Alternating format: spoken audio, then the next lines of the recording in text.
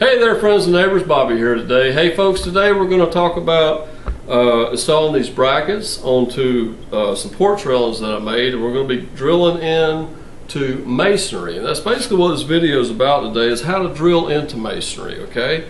And what type of fasteners work good. Now I've found that these little Tapcon brand screws work great, okay? But here's some things that you need to know if you want to have good success with them. You're going to have to drill into masonry with a hammer drill, okay? A regular drill is not going to get it. You're going to end up burning up drill bits. It's going to end up walking on you, and you're going to end up possibly cracking the brick or masonry. So definitely invest into a hammer drill.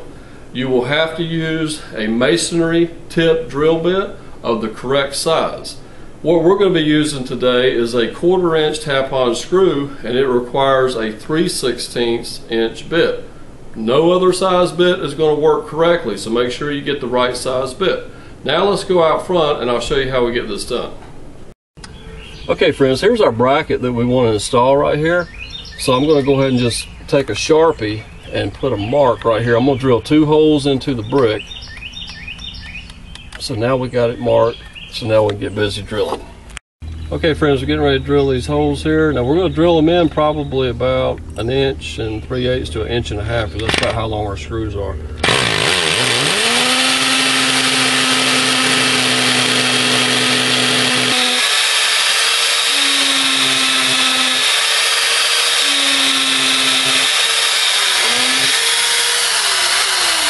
Okay friends, we're definitely in deep enough. Looks like this brick's got a little bit of moisture in because we did have a big rainstorm here the other day. But uh,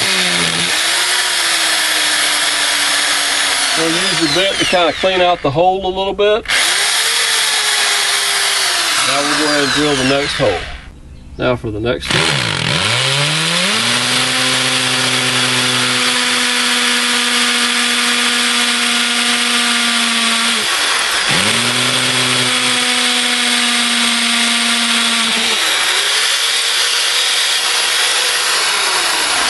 Okay, now go ahead and take your bit. Kind of clean out the hole real good.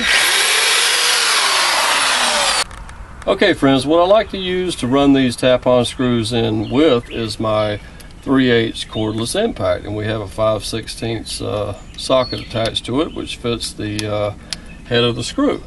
So let's go ahead and zip these in. Show you just how easy this is.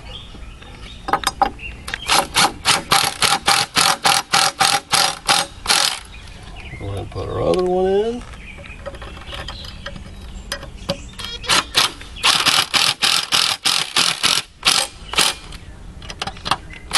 Okay, that's about it. Now we'll go get some wood screws, some uh, coated wood screws to drill into our wood here.